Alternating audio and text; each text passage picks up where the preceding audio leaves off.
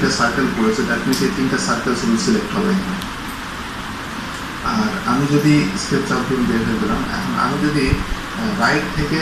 লেফটের দিকে যাই তাহলে এটার শো করছে যে গ্রিন এটার মানে হলো গ্রিন উইন্ডো সিলেকশন বলতে এখানে বোঝায় যে এই উইন্ডো উইন্ডো পার্টটা যেইটা যেই যেই এজের উপর দিয়ে যাবে পার্শিয়ালি করুক আর ফুললি আহ, প্রত্যেকটা যে এজ আছে, প্রত্যেকটা এজকে সে কাউন্ট করবে। আমি কিন্তু যেটা ছেড়ে দিই, দেখুন সেই যতগুলা পেয়েছে এর ভিতরে সবগুলো সে সিলেক্ট করেছে, কিন্তু সিলেক্ট দিয়ে রাখেন, তা আপনার জন্য খুব ইজি হবে যে আপনি খুব সহজে খুঁজে বের করতে যে কোনটাতে আপনি কোন জয়েন্ট আপনি আসলে